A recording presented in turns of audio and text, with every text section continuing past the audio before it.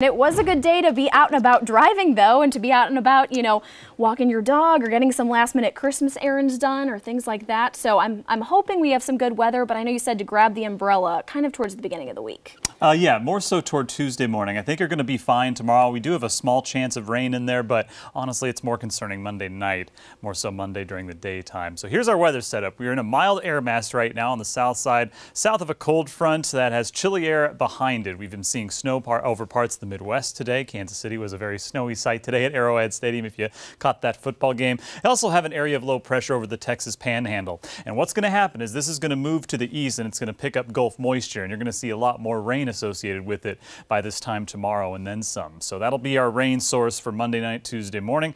And what do you say we track it? Not really too much to talk about tomorrow besides the fact that it'll be an overall pretty cloudy day. I don't think we're going to see too much in the way of sunshine. And there's always that off chance we get a stray shower ahead of the main batch of rain, which at that point will still be well to the west over Tennessee.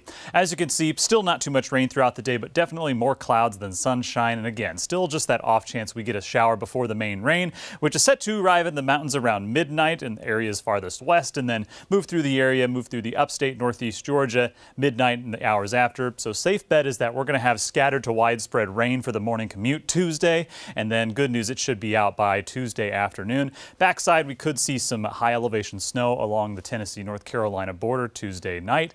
And that's pretty much our rain chance for the week, and we cool down after. 44 degrees will be our low temperature as clouds build in and patchy fog develops. Mountains, it's 41 degrees for you with a similar forecast. And again, not too much sunshine, but still beautiful, mild temperatures. 63 will be our high temperature. And again, just that small, small chance for a brief shower to 62 degrees will be your high temperature.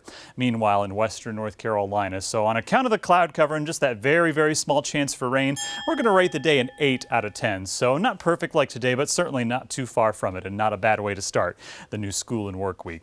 I want to fast forward though to the end of the week into next weekend because we could see another batch of rain and it might even come with some patchy wintry weather as well. So looking at the American GFS model, this is definitely the outlying model in terms of what the overall forecast is looking like. It paints a pretty rainy picture with some brief freezing rain in the mountains late Friday night into, into Saturday morning and then a very rainy Saturday to follow.